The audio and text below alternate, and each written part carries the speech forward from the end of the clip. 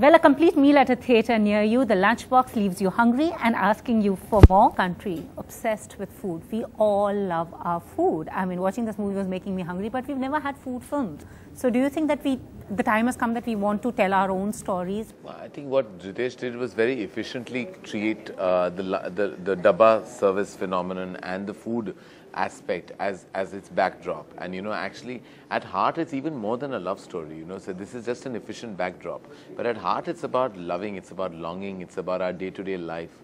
And um, how important and critical true love is for you to really go through the beats of a day is what really the lunchbox is about. It's about like the importance of love in our lives and how you must attain it at whatever cost. And uh, and if it doesn't come your way then seek it out.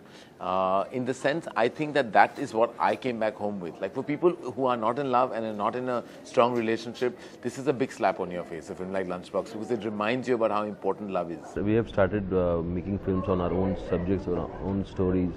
There's so many people who are now trying to buy rights of books. And uh, this is uh, this is now filmmakers are looking for stories from our own culture our own uh, you know society that's a great sign and you play a lonely old man in the movie firstly i want to I ask you what we see you playing the old man in yeah, I In think the uh, this is something uh, I'm destined to play old. I think I'm destined to uh, discover my old oldness uh, before time because when I got the first part in my life, I was I was maybe 14 or 12. I was given an old man's part.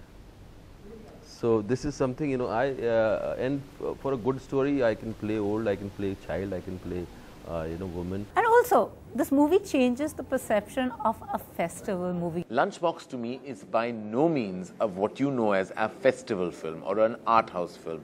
It is a connective love story. And I believe a love story will travel across the world like it already has. Because the one thing that I took back from the Lunchbox, and proudly so, is that it's the one film made by an Indian, quintessentially Indian, and not deriding the country we come from. This is a one film that should travel and definitely bring home every accolade that actually deserve. Karan, you've been associating with movies like that. You've said like it's your endeavor to associate with films like that. They're not necessarily the genre that you work on. So, will we see something with food in your next? Well, of course, if the script comes to me, then why not? To me, I'm pr- happy to produce any film I love, be it about food, be it about love, be it about loss, be it about anything.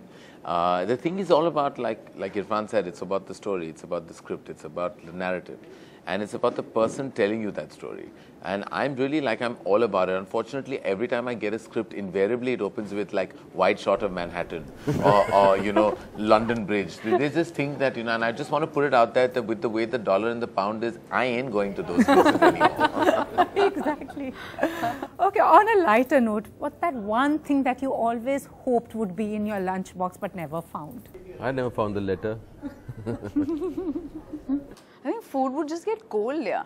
by the time I would get to school and by the time the time would come to eat it, it would just be cold. It's been a strange part of my history in school. So it's it's what won me over my first best friend.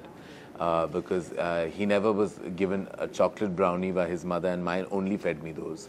So eventually he said, I'll sit with you if you make me eat your brownie, which used to come in my lunchbox. Uh, so that's how, and my oddly and ironically, that my best friend I made at the age 10 because of the chocolate brownie I shared with him. He's the CEO of my company today. Thank you so much. All the very best. And well, I hope there are much, many more lunchboxes delivered to us. Thank you so much. Thank you. Thank you. for having Thanks a lot.